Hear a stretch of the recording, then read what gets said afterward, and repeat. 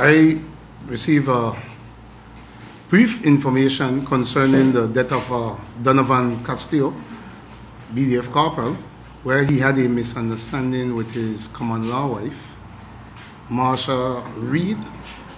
And um, when police visited the scene, they found Castillo in a sitting position in a chair in the living room with two apparent stab wounds to the neck, a cut to the neck area, and um, we know that the police have recorded a caution statement from Ms. Reed, and we should be levying charges pretty soon in that case.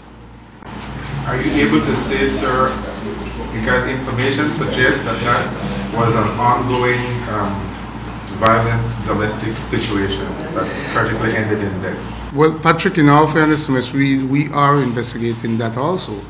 See, um, a lot of women are in abusive relationships, and some of these um, abuse are not reported to the police. Some are documented, and, and some are not. So we are investigating whether or not she made any previous reports. Know that we have recovered a knife from the scene that we believe was the weapon used in that crime.